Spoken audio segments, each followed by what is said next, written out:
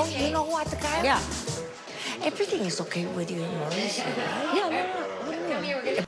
They say there's no place like home, but that kind of hits different when you're currently fighting with the person you share said home with.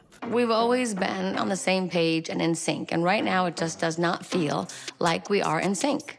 And nothing makes that energy more stressful than hosting with the entire kind of extended family involved. I'm very taken aback that my mother in law is asking me this right now, tonight. Of course, the drama between Kyle and Mauricio is continuing in the second episode, with even some of the castmates uh, not in the marriage getting a little involved. And when we talk about surprises and Kyle getting involved, maybe the biggest surprise would be if Mauricio actually ever did that for her.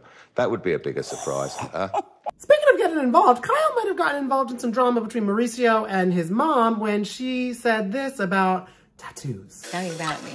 I mean, and then I realized she meant him, and I said, oh, I don't know. He has one, maybe, maybe not. I don't know. So you said that or you No. said yes? And I know that also the girls got one. Yeah. Like an 18. Do you know your son has one? No. You know there's tension when you can like tell that the people at the dinner table can like taste it, cut it, feel it, and that is 2000% what was happening at that dinner. She doesn't know for sure, and she was like, Whatever, I don't want to talk about that right now. well, I just want you to know that she wasn't even mad at this, and then your dad It's was not about that. I, it's mine to talk about, not anybody else's, and not, you know, whether I choose to talk about it or not. And I don't want to talk about it right now. I don't want to talk about it. Luckily for Kyle, she can get away from uh, this drama and go on a girls trip where there is different kind of drama going on to distract her. That what the